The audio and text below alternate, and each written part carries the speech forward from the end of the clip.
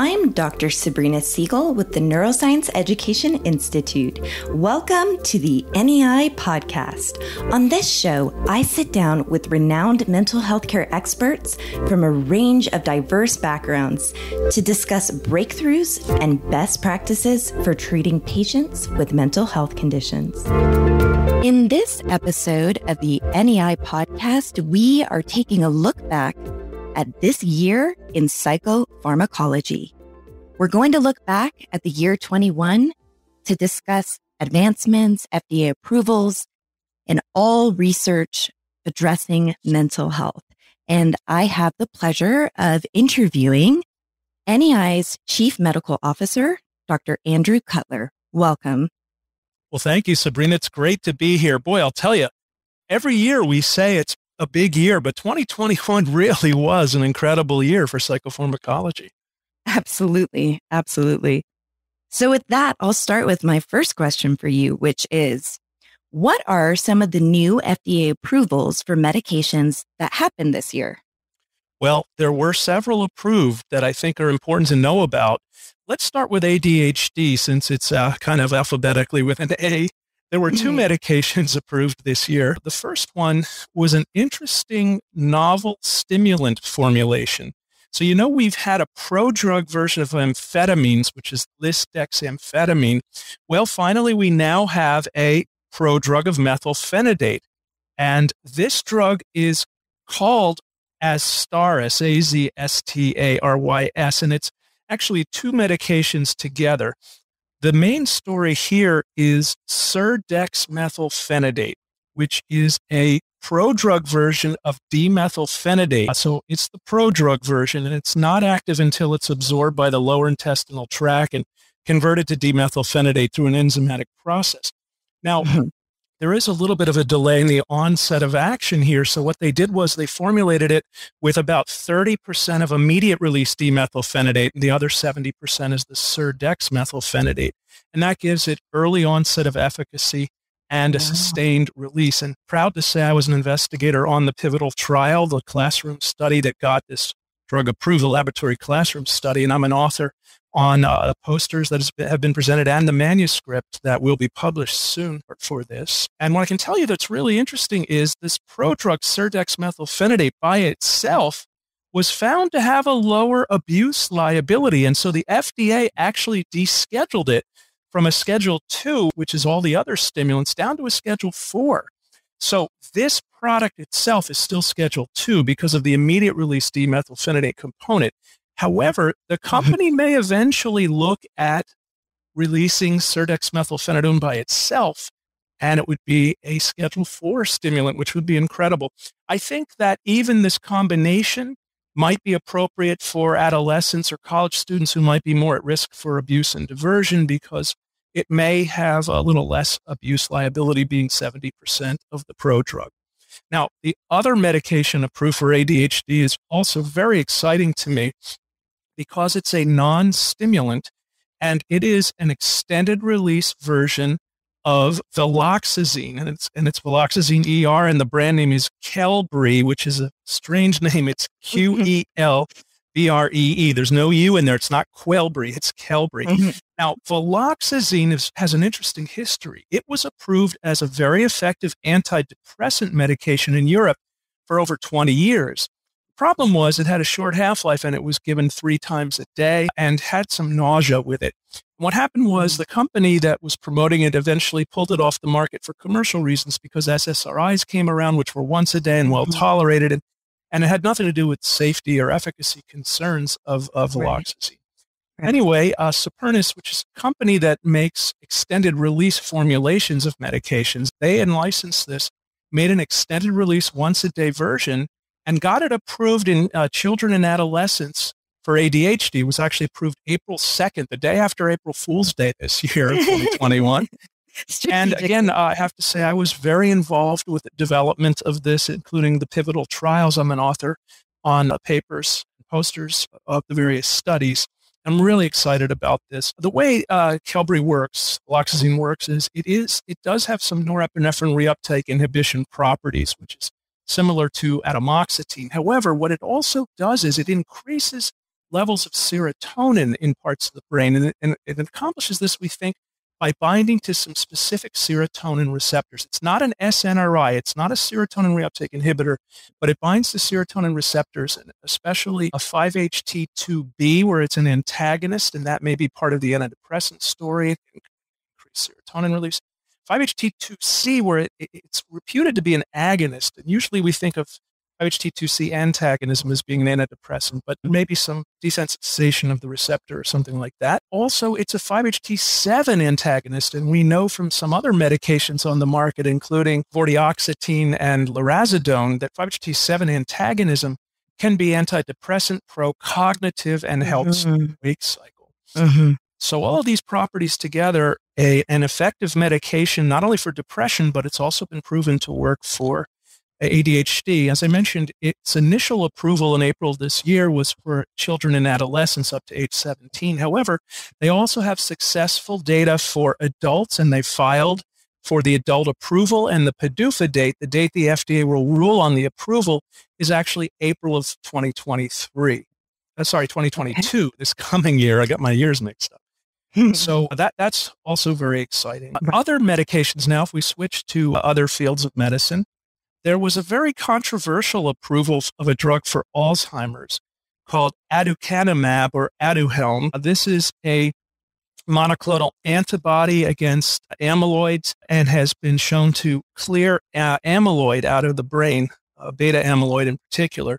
Mm-hmm. And so the thinking is that by clearing out amyloid, which is probably toxic to the brain, it may improve cognition. And there was some efficacy data. It was really kind of not overwhelming, however. And on my birthday this year, actually on June 7th, 2021, it was approved. And it's mm-hmm. potentially the first disease modifying agent. The other agents approved, the acetylcholinesterase inhibitors and memantine, mm-hmm. really kind of slow the decline, but don't really modulate the disease process itself. The fast track approval has met with a lot of controversy because it's not clear that clearing out amyloid, amyloid may be the final common pathway, may be very late in the disease process. And so clearing out amyloid is fine, but it may be too late. The horse may be already out of the barn. And again, as I mentioned, the efficacy data was, you know, was not overwhelming. Also, it's going to be a very expensive drug. And so the question is, does the cost, you know, justify the modest benefit? So, you know, politically, it was very interesting when the FDA approved this drug. I think the issue is that there is such need and such demand for an Alzheimer's treatment that the mm-hmm. FDA was kind of willing to, you know, lean on the side of approving uh, this right. drug, even though uh, the efficacy wasn't overwhelming, as I mentioned. There are, right. very interesting, there are a number of really interesting mechanism of action drugs being studied for Alzheimer's disease that are that go far beyond beta amyloid. And the other area that's been studied a lot is tau, anti-tau drug, you know, which can lead to uh, neurofibrillary tangles, amyloidous plaques and tangles. So we'll see. We'll see. I think the mm-hmm. Alzheimer's space is an area to watch for. As far as schizophrenia, there are a couple of new medications here.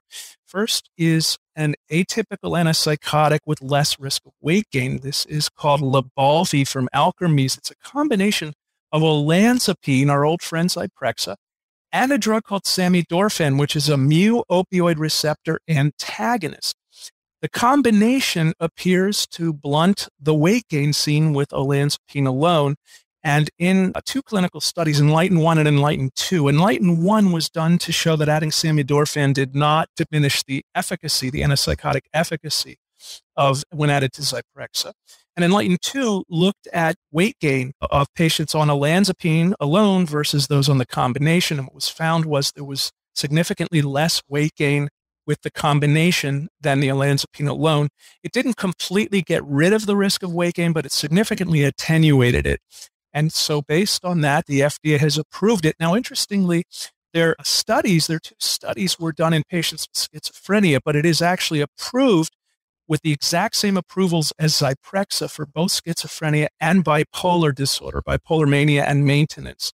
Mm-hmm. So I think this is going to be very interesting. As our friend Les Citrome, who's an NEI faculty member, says, this mm-hmm. could potentially make olanzapine great again. he wants to get a red hat with MOGA instead of MAGA on it. That's okay. Great. So, so this is certainly exciting. And then the other interesting development is in the uh, LAI space, long-acting injectable space. The FDA approved a an LAI with only a six-month injection interval, so you only have to take it twice a year. And this is an ex- a, a long-acting injectable version of paliperidone, paliperidone palmitate. And of course, paliperidone palmitate we have as Invega Sustenna and Invega Trinza, which is a three month, but the new one is called Invega, wait for it, Hafyera, H A F Y E R A, which I don't know how they got that name approved, but half a year, I guess, Hafyera. Mm-hmm. So I think this could be a, a, terrific addition to our options for the treatment of schizophrenia in really stable patients, only having to come back twice a year. Mm-hmm. Now, with Hafyera, patients do need to be treated with either Invega Sustenna first for four months or with the Trinza for one three month dosing cycle. You don't just start with Hafyera right out of the gate. Mm-hmm. Mm-hmm. Now, as far as other other treatments, there was medication approved to treat idiopathic hypersomnia, and this is very exciting because this is the first treatment that's approved for adults with idiopathic hypersomnia. This right. is a condition where patients have chronic excessive daytime sleepiness, sleep inertia, prolonged but non-restorative sleep with napping, and cognitive impairment. And the, the medication approved is called Xywav, Z-Y-W-A-V. Now, Xywav uh, was previously approved, I believe, last year to treat cataplexy and excessive daytime sleepiness associated with narcolepsy. Now, this is oxybate, and so is Xyrem, and this is the difference between Xyrem and Xywav is the new one, Xywav, is a low sodium version. These are both solutions. Xyrem has a very high sodium content, and there's warnings about that, especially for people with high blood pressure. So Xywav is a low sodium version, and so certainly a safer version, we think. And it was found to uh, significantly improve scores on the Epworth Sleepiness Scale, the PGI, Patient Global Impression of Change, and the idiopathic hypersomnia severity scale in a phase three study. And it was it's given typically once or twice nightly. You have to give it once and then sometimes a couple hours later, a few hours later, second one. It was generally well tolerated. There were some side effects, including nausea, headache, dizziness, anxiety, insomnia, decreased appetite, and hyperhidrosis, sweating, and some others but it is certainly a good option for 37, the estimated 37,000 patients with idiopathic hypersomnia in the US.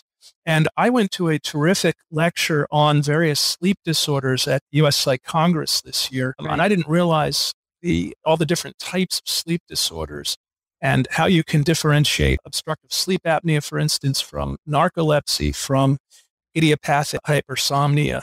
So very interesting and important development from that field. Now, I want to mm-hmm. mention one other medication which wasn't approved specifically for a psychiatric indication, but it may be something we want to consider using. And it is something that's being studied for psychiatric conditions. Let me explain. This mm-hmm. drug is called Wegovy, W-E-G-O-V-Y, which is semaglutide. It's a subcutaneous injection form of semaglutide which is a GLP-1 agonist. That's a glucagon-like peptide 1 receptor agonist. Now, semaglutide is FDA approved in two various forms for the treatment of diabetes. One is called Ozempic, which is also a semaglutide subcutaneous injection. The other is called Rybelsus, which is an oral version of semaglutide. Now, why is this important? Well, Wegovy was approved not for diabetes, but it was approved in June of this year for chronic weight management in patients with obesity or overweight with at least one weight related condition like hypertension, diabetes, or lipid dysregulation. And the reason this is important is a lot of our patients, of course, have these issues. And we may consider using the GLP-1 agents. Certainly, they've been looked at to uh, help with patients who gain weight on atypicals or have metabolic issues with atypicals. But furthermore, our friend Roger McIntyre, another NEI faculty member, is studying semaglutide as a potential antidepressant medication. The brain is loaded with insulin receptors, and mm-hmm. you know we think that insulin dysregulation could be underlying the pathology of depression in some patients. Also, it's been shown to be involved with the pathology of Alzheimer's disease. So that's another wow. interesting area. Wow. So those are just some of the medications that have been approved this year. And there, there are a number of others that are in development that I think are very exciting. And we can talk about that a little later if we have time. Mm-hmm. Mm-hmm. Wow, there's so much there with just brand new medications yeah. approved. And my next question is what about FDA approvals for devices and therapeutic approaches? Yeah, you know, this is another area of really exciting development and technologic innovation. So, mm-hmm. when we're talking about this area, we're talking about potentially two different things. We're talking about devices and we're talking about things like software, something that's called prescription digital therapeutics. So the concept of digital therapeutics. Mm-hmm. So first, if we talk about devices, the a specific TMS device, transcranial magnetic stimulation, it, it turns out the BrainsWay deep TMS system got expanded approval by the FDA or labeling by the FDA. It's of course approved to treat depression, but now it got approved to treat comorbid anxiety symptoms in patients with depression, also known as anxious depression. As part of the indication, patients have to have failed uh, to achieve satisfactory improvement from antidepressant medication treatment in the current depression episode. Mm-hmm. But turns out there were 11 different studies, 573 total patients. That's a lot of patients showing consistent and robust declines in anxiety in patients with MDD. Wow. And the, the effect sizes ranged from 0.34 to 0.9, which is really good effect sizes. When you talk about antidepressant medications, usually have an effect size of around 0.3. So this is certainly quite interesting. So, you know, that's it's interesting that the the uses for TMS kind of keep expanding and growing beyond just mm-hmm. depression. It's also being looked at for uh, PTSD, even ADHD and other conditions. So we'll see. Now, there's another device that has been authorized by the FDA. And this is a device for uh, obstructive sleep apnea. This is a daytime electrical stimulation device. The device is called Excite OSA, E X C I T E O S A. And what it does is it strengthens tongue muscles through electrical stimulation. Mm-hmm. Comes and, and so it's what you can use. You use the device for 20 minutes once a day over a six week period, and then once weekly afterwards. Doesn't sound like a lot, but the approval was based on 115 patients with snoring, including 48 with comorbid snoring and obstructive sleep apnea, where the device was used as I described and discontinued for two weeks. Overall, percent of time spent snoring at levels louder than 40 decibels was reduced by more than 20% in 87 of 115 patients. So it appears that it's cleared for use both for snoring and for obstructive sleep apnea. Mm-hmm. And it mm-hmm. recommended that patients get a comprehensive dental examination prior to use of the device. So very interesting. There are a number of prescription digital therapies or so-called software therapies that are in development. Last year, you know, we had the FDA clearance of two different ones for uh, ADHD. Mm-hmm. Akili Interactive has one called Endeavor RX, and Attentive has one called Skylar's Run, and these are both uh, available in the market now. Uh, there's mm-hmm. a company called Pear Therapeutics that, from what I understand, there's six prescription digital therapies on the market, and Pear Therapeutics has three of them, so they have 50% of the market. But they're also developing these treatments for other conditions, including major depressive disorder. So keep your keep your eyes peeled to this space. Excellent. My next question is What did we learn about the association between depression and stroke from some of the research findings this past year? Well, I'll tell you, this year there were a number of really interesting research findings in the field of, of psychiatry. Mm-hmm. And, you know, to be honest, the relationship between stroke and depression is not new. I remember learning about it in my residency, which was a long time ago. I'm not going to tell you how many years ago, but many years ago.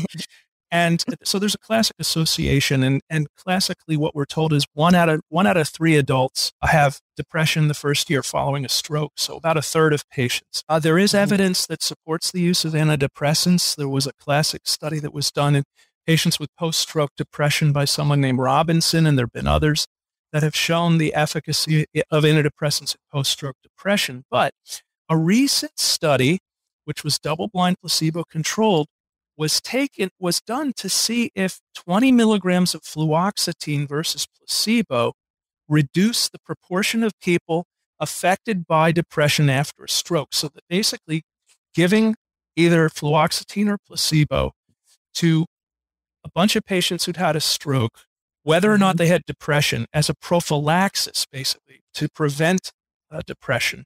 Mm-hmm. And this was a big study 614 patients on the fluoxetine group versus 607 on placebo. And they took it for wow. 26 weeks after, excuse me, a stroke. The idea was to start two to 15 days after having the stroke.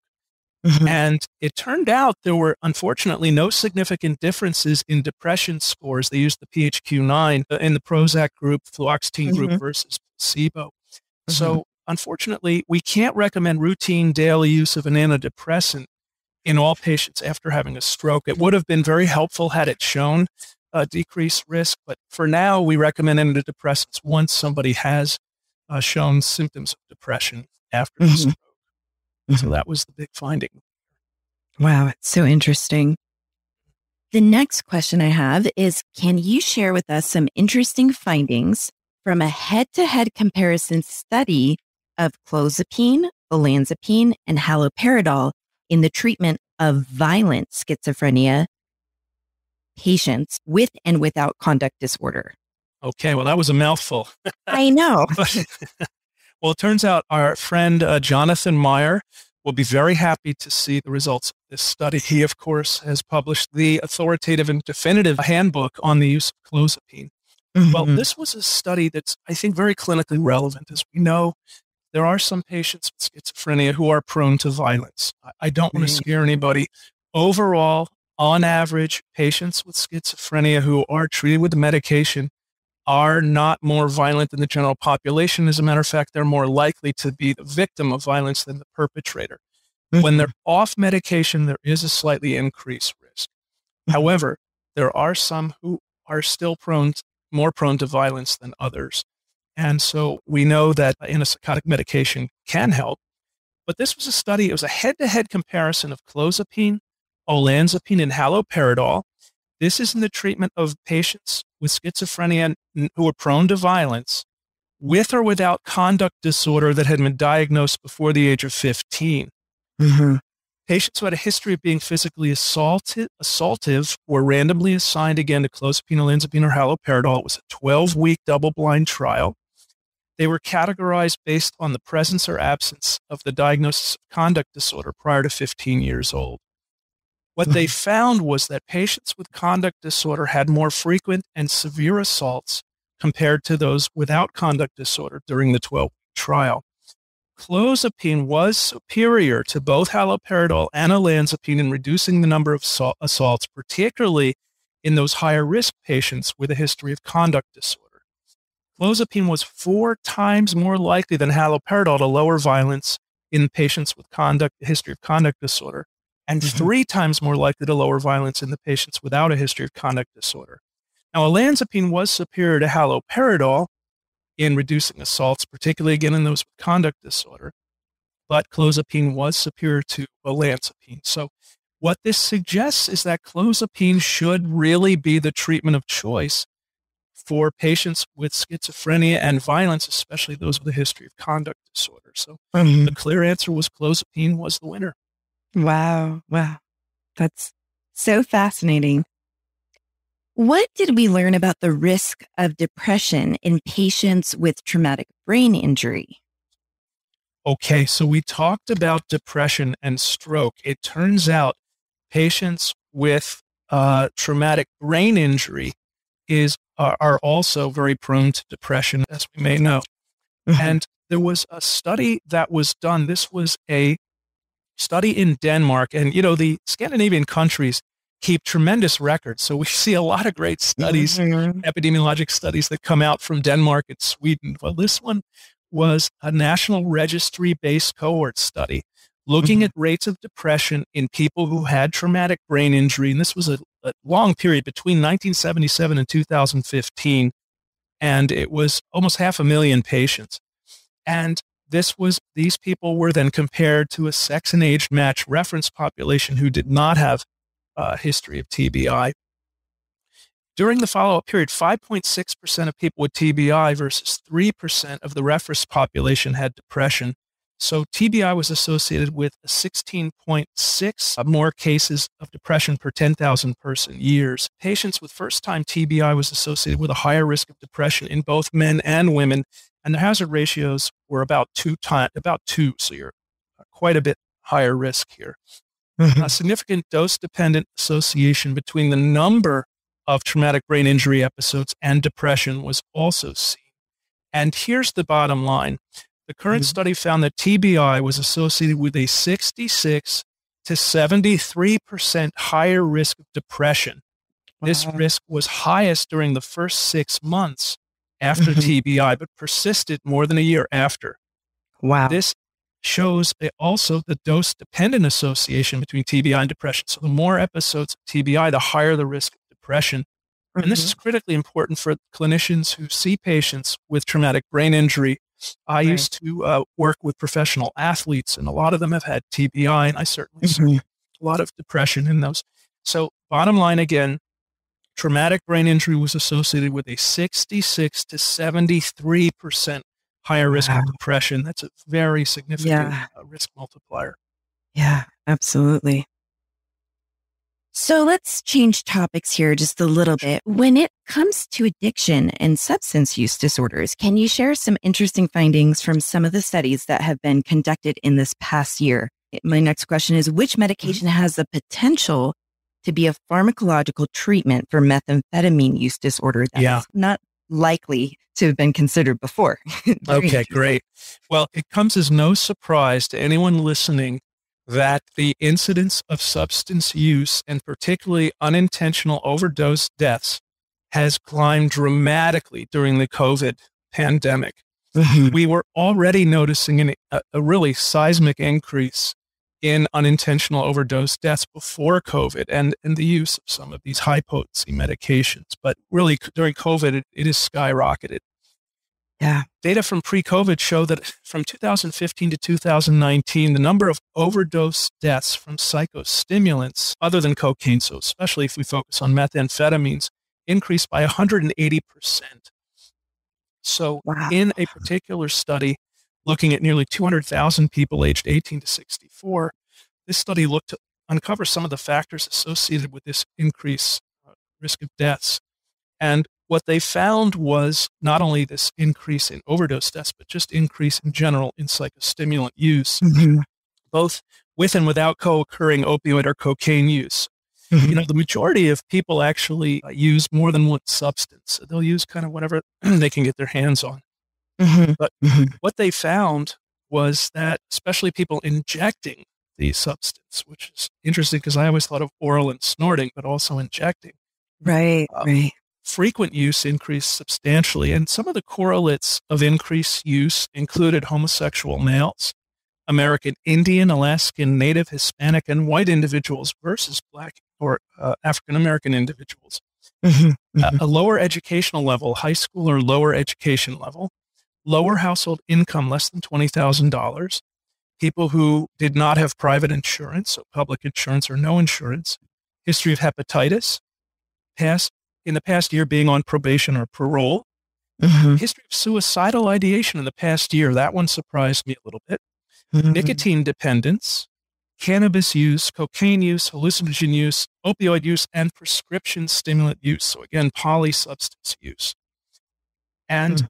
the, the authors concluded that the increase in overdose deaths involving stimulants, psychostimulants, was associated with riskier patterns of use, such as injection or use with opioids rather than uh, simply methamphetamine use per se. So this is really helpful in understanding what's going on. Now, uh, if we add to that part of the issue with the skyrocketing overdose with COVID 19 has been the fact that we've had more isolation.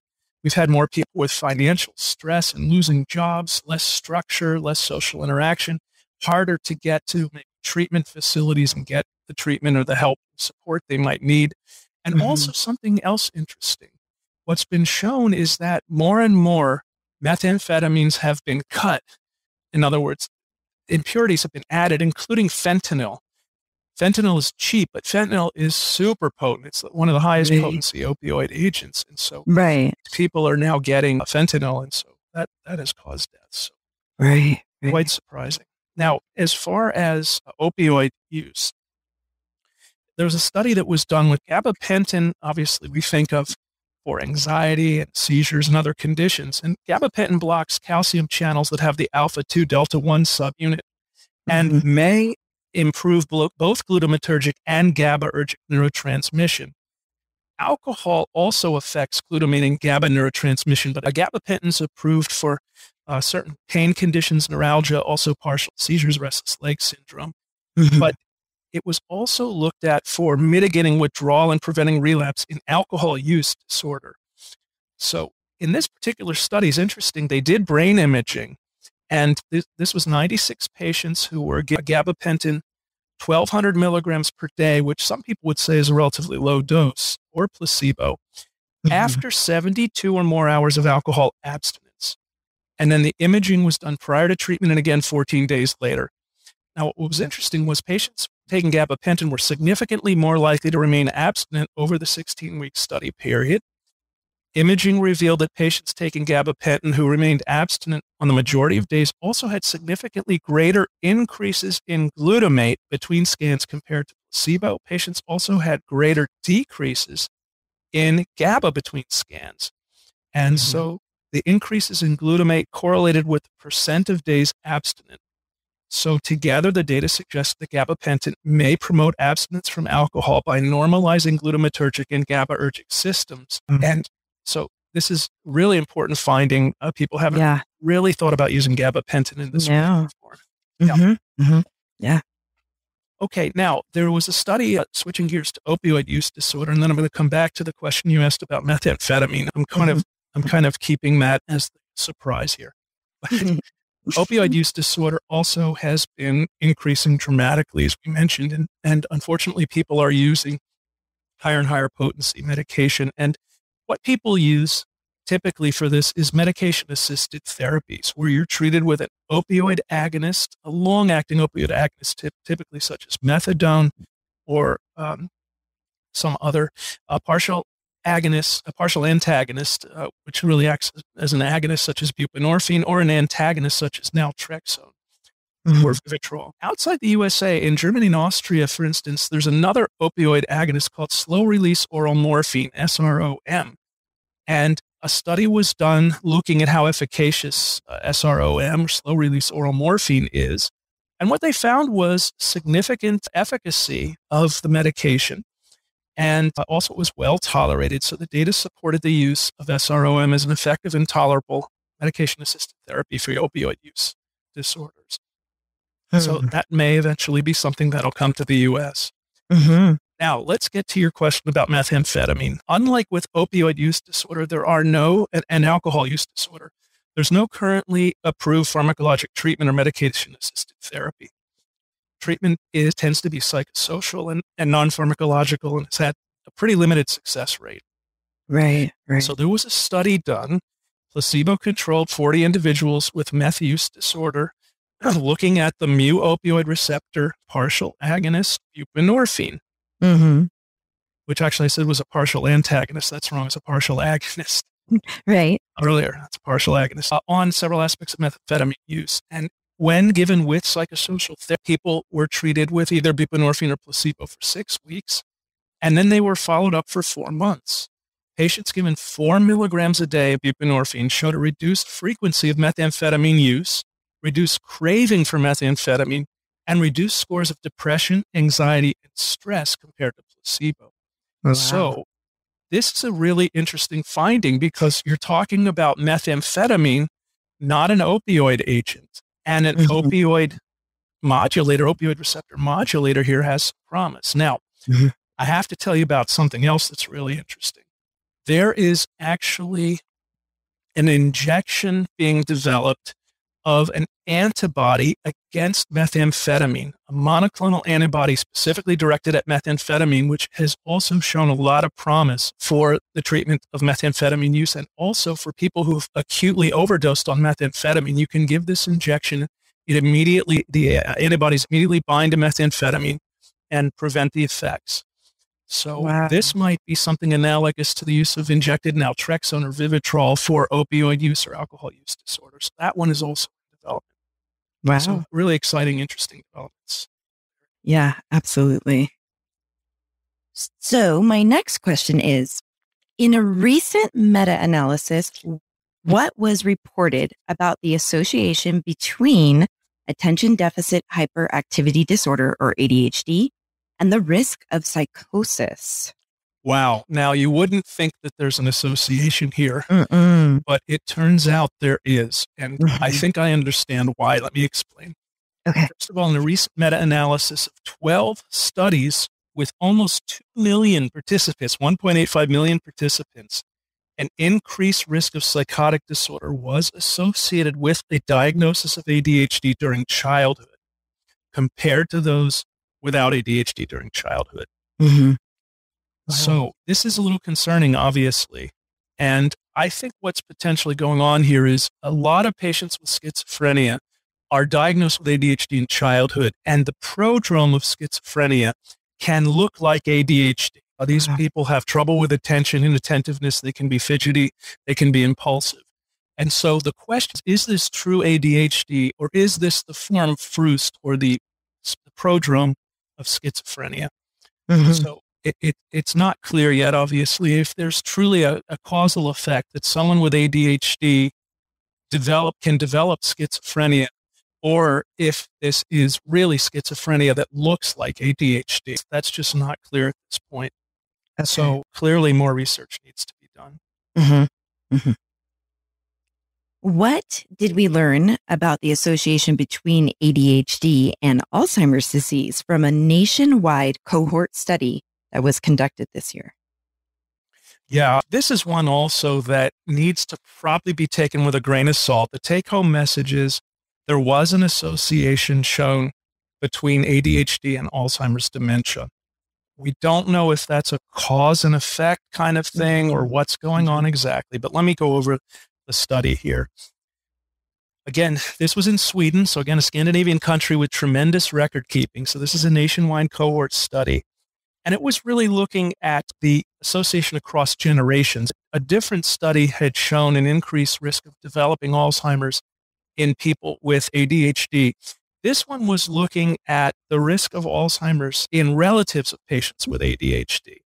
So basically, this was incredible. This is over 4 million people. Mm-hmm. And they looked at, sorry, it's actually more than that. It was 4 million index person parent pairs, so 4 million of Oh, wow. patients with ADHD and their parent. Obviously, Wow. 50% shared genes. Seven and a half million index person grandparent pairs, which is, of course, sharing a quarter of the genes, and almost 2 million, 1.8 million pairs with a patient and an uncle or an aunt. And that's, again, a 25% shared genes. So, uh, among this population, there was a 3.2% incidence of being diagnosed with ADHD, which is a lot lower than most estimates around the world. And could just be that these were the people who were diagnosed. It's probably underdiagnosed. Anyway, parents of people with ADHD had an increased risk of Alzheimer's, and the hazard ratio was 1.55. Wow. So 50% increased risk. Mhm. The association with grandparents was a little less, but still significant at 1.11, so an 11% increased risk. And the association with aunts and uncles was also about 1.15, or about a 15% increased risk. Okay. So uh, that was for Alzheimer's, and a similar pattern was shown for any dementia in relatives. The risk of having early onset Alzheimer's in parents and grandparents uh, of persons with ADHD was also higher than the risk of having late onset Alzheimer's Mhm. disease. So Okay. this is concerning. Mm-hmm. Altogether, what this suggests is that relatives of individuals with ADHD have an increased risk of developing Alzheimer's or any dementia, and that the association tends to attenuate with decreasing genetic relatedness. So we don't know if this is a genetic association or some other some other risk factor that may be going on here, but uh, a lot of research I can tell you is being done to look at this relationship because this finding has been shown, and as I mentioned in an earlier study, there was an increased risk of a person with Alzheimer's subsequently developing, uh, sorry, a person with ADHD subsequently Mhm. developing Alzheimer's disease. Right. Right. Wow. Well, it'll be interesting to see what future studies find related to that. Well, it's really interesting that a lot of our disorders are showing these interesting relationships, shared mm-hmm. genetics, things like that. I mean, mm-hmm. we certainly know about the relationship between schizophrenia and mm-hmm. bipolar disorder right, right. and depression and anxiety right right ptsd and others we, we, we've known about some of these relationships mm-hmm. another in, interesting relationship is adhd and autism there's clearly a higher risk kind of bidirectional risk we know that about a third of patients with autism also meet criteria for adhd mm-hmm. and there was a mm-hmm. recent imaging study done actually that I, uh, we didn't um, necessarily have in our prepared questions but i'm going to mm-hmm. tell you a little bit about this there was a recent imaging study done that showed that there are different neural signatures on imaging between patients with ADHD alone, those with autism alone, and those with ADHD and autism. And what happens is you have a certain neural signature with ADHD and a, a different neural signature for people with autism alone. But mm-hmm. those who have both have an overlap. They have elements of the neural pattern of both. There probably are also some patients who have shared genetics. So this is very interesting, these associations that we're finding. And again, we don't know how much shared genetics. We're talking about shared mechanisms, uh, uh, patho- pathophysiologies, mm-hmm. the way that certain mm-hmm. circuits are affected and things like that. So mm-hmm. mm-hmm. there we have a yeah. lot of research. Wow. What were the research findings from a small randomized controlled trial that examined the effects of repeated ketamine on post traumatic stress disorder or PTSD? Well, this is another area of real excitement because PTSD has also been on the rise, obviously, due to um, the various wars that we've been uh, involved with for the past 20 years. And there are very few effective treatments for PTSD. As a matter of fact, there's only two medications FDA approved to treat PTSD. They are, are two, two different SSRIs that really have really limited kind of efficacy. Uh, there are various medications being studied, including an atypical antipsychotic brexpiprazole, which is showing some promise. Mm-hmm. But there is data that ketamine has a very powerful effect on the symptoms of PTSD. And previous studies looked at single IV ketamine infusions showed a significant and rapid reduction in PTSD symptoms. But in this recent controlled trial that you mentioned, repeated administration of ketamine infusions was tested. So mm-hmm. there were 30 patients, a small number. They were randomly assigned to get six infusions of ketamine at the dose that's usually recommended, which is 0.5 milligrams per kilogram, versus, interestingly, not placebo, but midazolam, which is a short-acting benzodiazepine at 0.045 milligrams per kilogram. And this was mm-hmm. considered a psychoactive placebo control or psychoactive control because obviously with ketamine you get some kind of dissociative effect. So if you give placebo it's pretty clear you're not getting active drugs. So they wanted to give something that would have some kind of psychomimetic effects. Mm-hmm. and this was given over two consecutive weeks so six infusions three per week over two weeks. Assessments were made 24 hours after the first infusion and at weekly visits. Primary outcome is a uh, rating scale that's really the gold standard for PTSD. It's called the CAPS 5, the clinician administered PTS scale mm-hmm. for DSM mm-hmm. 5. And the uh, primary outcome was two weeks after completion of infusion. Secondary outcomes included another scale for PTSD, the impact of event scale revised, and a, a scale for depression, the MADRS, Montgomery Asberg Depression Rating Scale.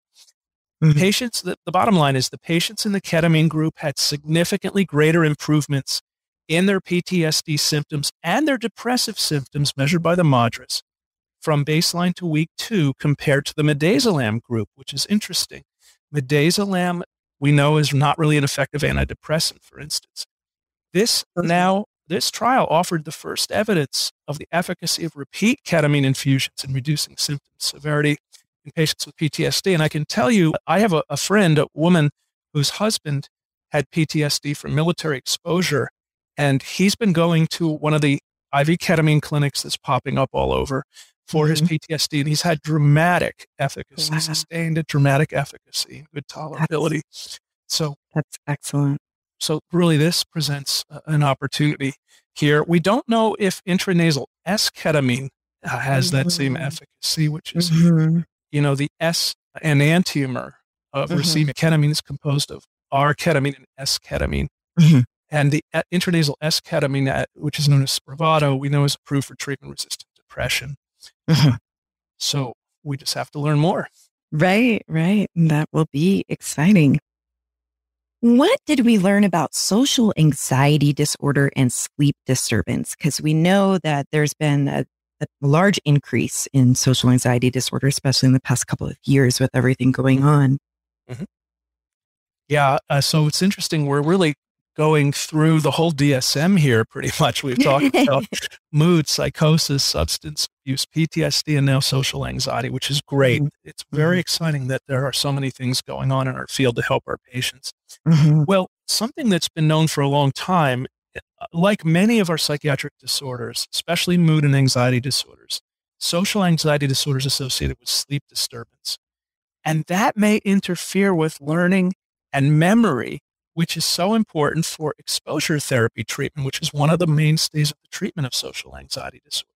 Mm-hmm. So, a recent study looked at the relationship between exposure therapy outcomes and sleep disturbances in uh, patients who were getting exposure therapy sessions for uh, social anxiety disorder. And this was 152 patients. That's a pretty big study for an SAD study.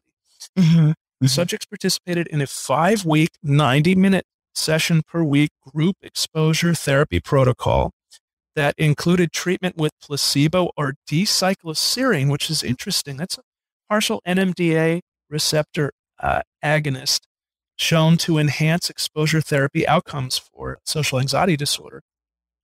Poorer self reported baseline sleep quality was associated with slower social anxiety disorder symptom improvement over time and worse SAD outcomes. So, participants who had higher mean levels of self reported sleep time, so those who had more sleep time before the exposure sessions, had lower social anxiety disorder symptoms at the next session, suggesting better learning.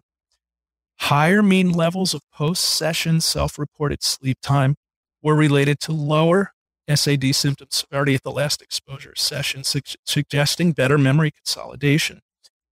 Now, self reported pre or post session sleep quality was not associated with social anxiety disorder symptom outcomes, and D-cycloserine treatment did not moderate any of the effects of sleep on symptom outcomes. It was interesting.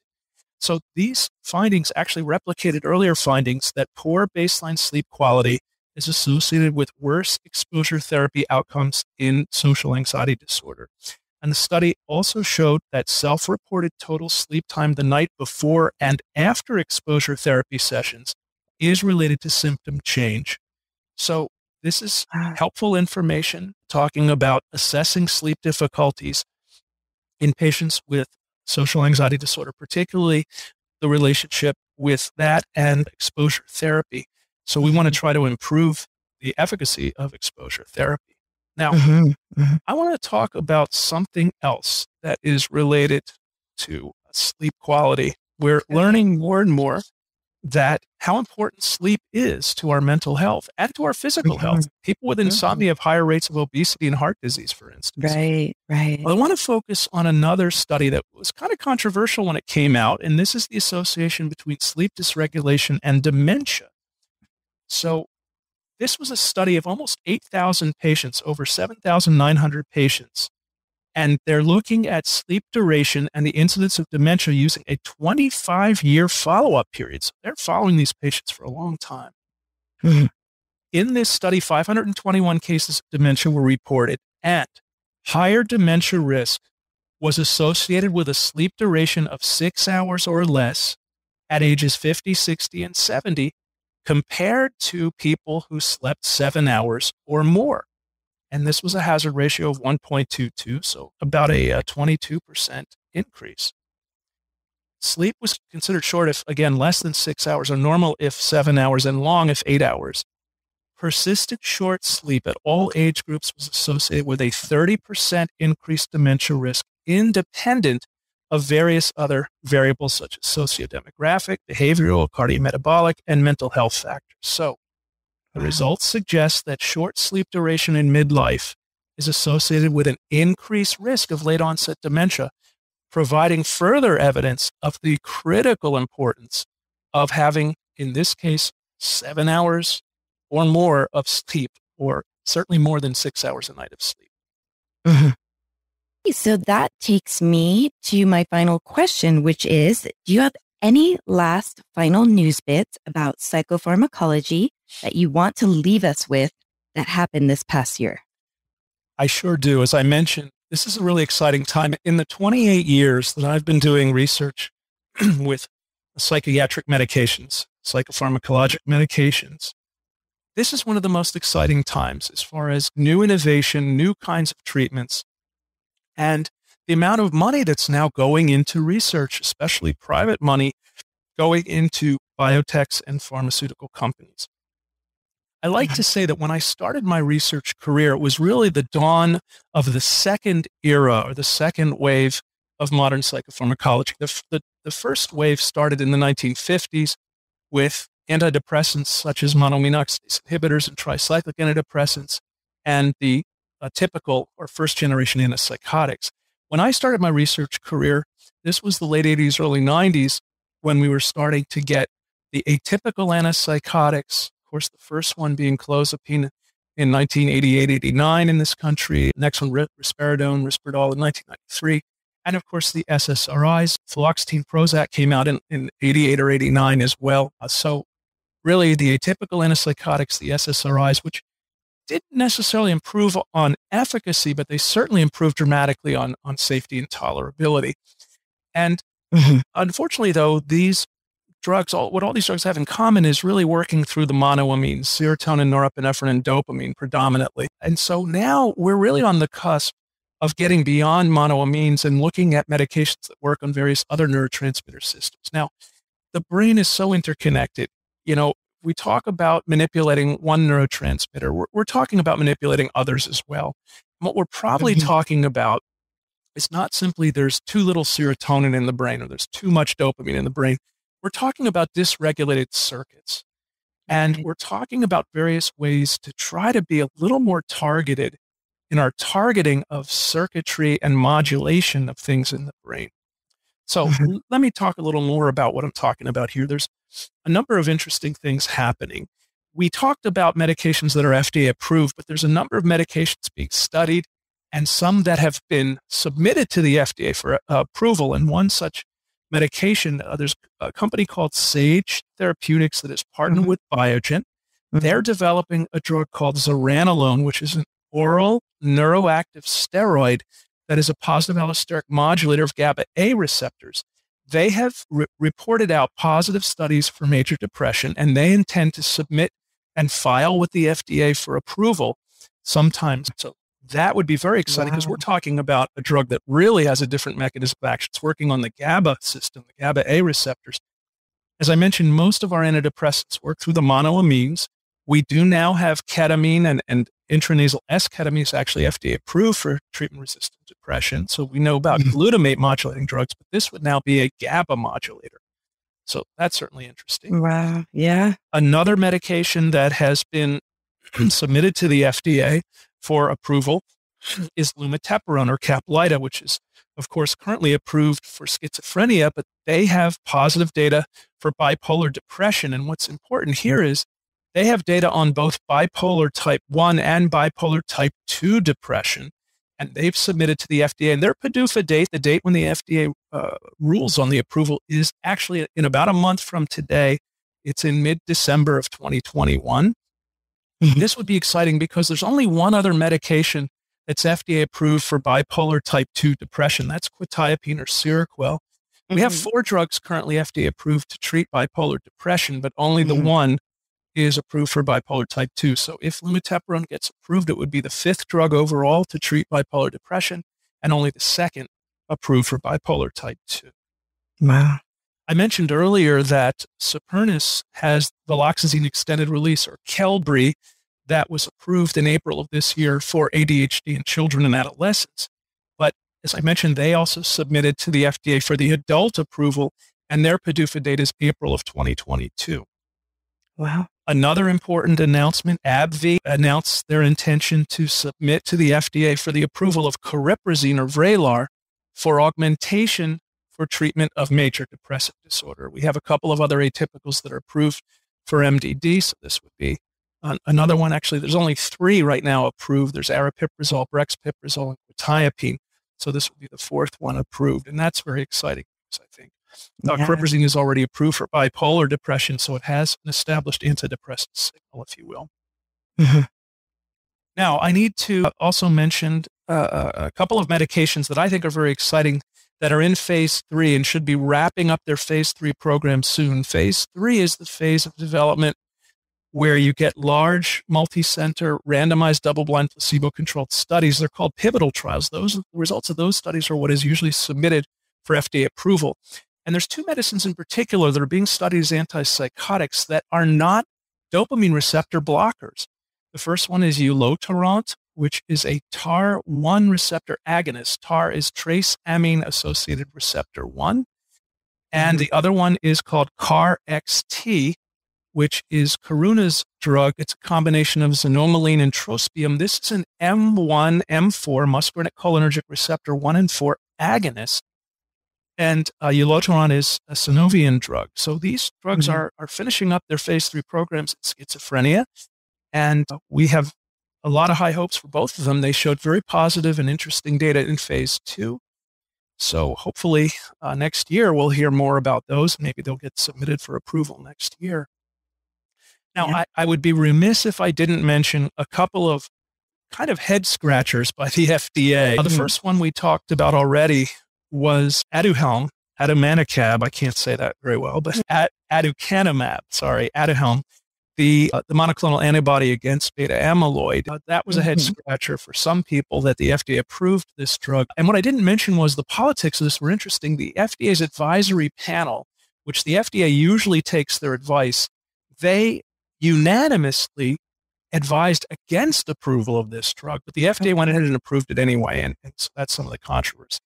Two other head scratchers here included the first one was pimavanserin or Nuedexta which had a very positive trial called the Harmony Study for dementia related psychosis. Now, pimavanserin is already FDA approved for PDP, Parkinson's disease psychosis, but here it was being looked at for psychosis from any form of dementia, not just Alzheimer's dementia. And the company Acadia had pre negotiated with the FDA that if we do this study, will you approve the drug? They said yes. So they did this study. The study was actually stopped early because of an interim analysis showed such clear efficacy of pimavanserin that it wasn't fair to continue exposing people to placebo. How they submit it to the FDA, and the FDA said, no, we're not going to approve your drug because the subpopulations with various types of dementia, especially the Alzheimer's subpopulation, didn't wasn't significantly better than placebo. Well, mm-hmm. this was a complete misinterpretation of the study design. This study was not designed or more importantly powered to show significance for one type of dementia against placebo. It was designed and powered to show the whole dementia group versus placebo.